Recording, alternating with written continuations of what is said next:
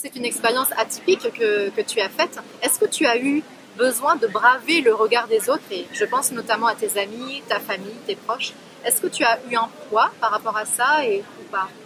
Alors la chance que j'ai eue avant de partir, c'est que j'ai pas eu de blocage particulier de la part de mes amis ou de ma famille.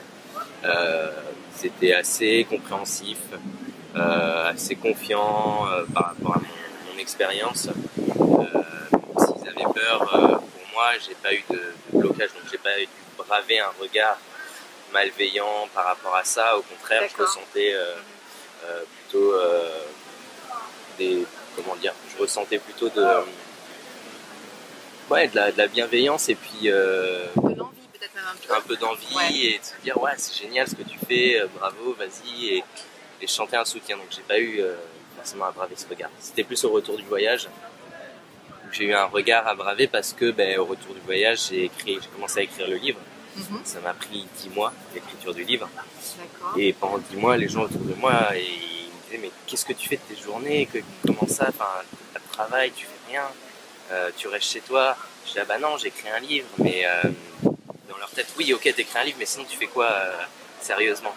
Et Sérieusement. voilà c'est là où c'est plus dur d'affronter le regard des autres et voilà plus après le voyage qu'avant le voyage Alors, qu'est-ce que tu te dis à toi-même quand euh, tu sens un petit peu euh, les jugements dans le regard des autres?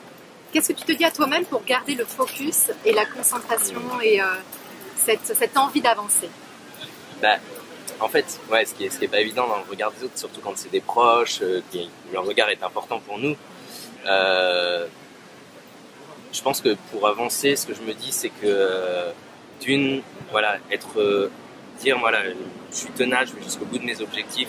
Ok, aujourd'hui ils comprennent pas, mais quand je sortirai mon livre, là ils verront et et, être sûr de soi, de son objectif, de la ténacité, de là où on veut aller, c'est un, c'est une première chose euh, pour avoir une force intérieure. euh, et puis de se dire, ben, le plus important, c'est mon regard que je porte sur moi-même et pas le regard des autres sur moi. Et donc me dire, voilà, il faut, faut vraiment faire quelque chose où je me sens bien, où j'ai un regard bienveillant sur moi-même et après les autres, c'est secondaire.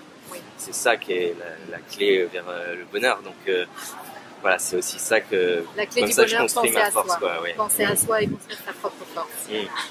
D'accord. Je vous dis à très bientôt. Bye bye tout le monde. Au revoir Nicolas. Ciao ciao, merci, à bientôt. À bientôt.